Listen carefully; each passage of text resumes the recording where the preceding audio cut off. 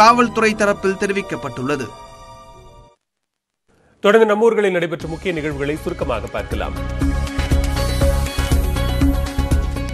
தூத்துக்குடி கடற்கரை சாலையில் உள்ள படகு குழாமில் படகு சீரமைப்பு பணிகள் மும்முரமாக நடைபெற்று வருகின்றன. ஊரடங்கு காரணமாக மூடப்பட்ட படகு குழாம் விரைவில் திறக்கப்படும் என்று எதிர்பார்க்கப்படுகிறது. எனவே படகுகளுக்கு வண்ணம் தீட்டுதல் பழுது நீக்கம் போன்ற வேலைகள் நடைபெற்று வருகின்றன.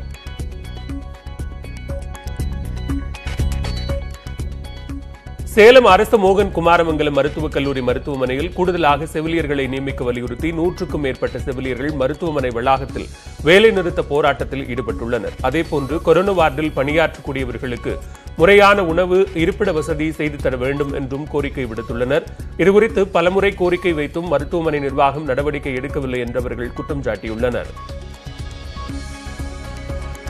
திருச்சி மண்ணச்சநல்லூர் அருகே பத்தொன்பது வயது பெண்ணுக்கு கருக்கலைப்பு செய்த போலி பெண் மருத்துவரை போலீசார் கைது செய்தனர். மண்ணச்சநல்லூர் புதுக்காலனி பகுதியைச் சேர்ந்த ராஜி என்ற ராஜலட்சுமி பத்தாம் வகுப்பு வரை படித்துள்ளார். இவர் பெண் மருத்துவர் ஒருவரிடம் கடந்த பத்து ஆண்டுகளாக உதவியாளராக பணிபுரிந்து தற்போது தனியாக கிளினிக் நடத்தி வந்துள்ளார். இவர் பத்தொன்பது வயது பெண்ணிற்கு அளித்த தவறான சிகிச்சையால் கர்ப்பப்பையை அகற்றினால் மட்டுமே உயிர் பிழைக்கும் நிலை ஏற்பட்டுள்ளது. இதுகுறித்த புகாரில் ராஜலட்சுமியிடம் போலீசார் விசாரணை நடத்தி வருகின்றனர். சங்கரன் கோயில் அருகே விபத்தில் மனைவி கண்முன்னே கணவர் உயிரிழந்த சம்பவம் சோகத்தை ஏற்படுத்தியுள்ளது. தென்காசி மாவட்டம் அழகநேரி கிராமத்தைச் சேர்ந்த இருதயராஜ் தனது மனைவியுடன் இருசக்கர வாகனத்தில் சங்கரன் கோவிலுக்கு சென்றுவிட்டு வீடு திரும்பும் வழியில் கழுகுமலை பகுதியில் பின்னால் வந்த லாரி மோதியது. இதில் மனைவியின் கண்முன்னே கணவர் உயிரிழந்தார்.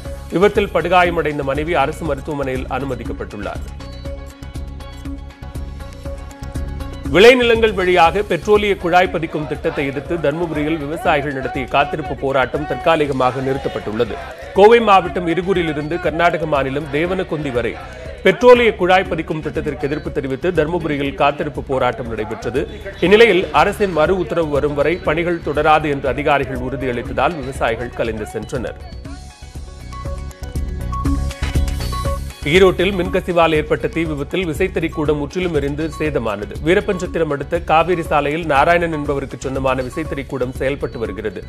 இங்கு நேற்று மாலை பணியாளர்கள் வேலை செய்து கொண்டிருக்கும் போது மின்விளக்கு வெடித்து மின்கசிவு ஏற்பட்டது. இதில் ஏற்பட்ட தீ மளமளவென விசைத்தறி கூடம் முழுவதிலும் சுமார் பத்து லட்சம் ரூபாய் மதிப்பிலான பொருட்கள் எரிந்து சேதமானது.